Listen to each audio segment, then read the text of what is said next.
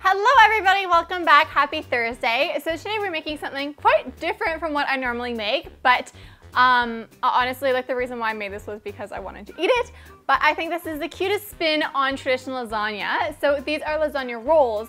So instead of layering the lasagna with like the cheese filling and then the noodles and everything like that, you like roll them up and you pop them into a baking dish and you bake them in the oven and they're so good and they're really, really simple. I've also included the recipe for the marinara sauce. You can totally use sauce out of a jar. I'd probably do that myself if I was busy just because it saves time. But the sauce is super easy to make and it does taste a lot better than traditional like store-bought sauce. So I definitely recommend trying that out. And yeah, let's get started. Okay, so first we're going to make the marinara sauce. What you want to do is pour the olive oil into a pot set to medium heat and add the garlic and cook until it's fragrant. Add the tomatoes and stir, breaking them apart, then season with some salt and pepper and simmer for 15 minutes or until the sauce has slightly reduced and the tomatoes are soft. Add the oregano, basil, and some red chili flakes if you like and stir to combine. Then to make the cheese filling, combine some ricotta cheese, mozzarella cheese, spinach, salt, and pepper in a bowl.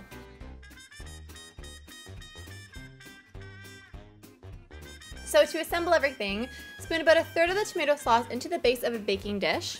And so the baking dish I used was actually a bit too big, but I did have some filling and everything left over, so you can always add more noodles if you like. Then lay out one lasagna noodle at a time, and spread a couple of tablespoons of cheese filling onto the surface. Roll up the noodles and then place them seam side down into the baking dish, and then repeat with the remaining noodles and cheese filling. Spoon the remaining tomato sauce on top of the lasagna rolls and top with some mozzarella cheese.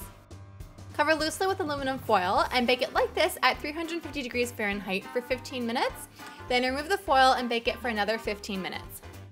Then just top with some fresh parsley and basil leaves and some Parmesan cheese and you are done!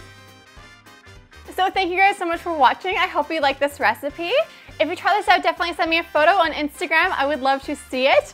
Um, and I hope I've inspired your weeknight meals. and as always, I will see you on Tuesday for a new recipe. Bye!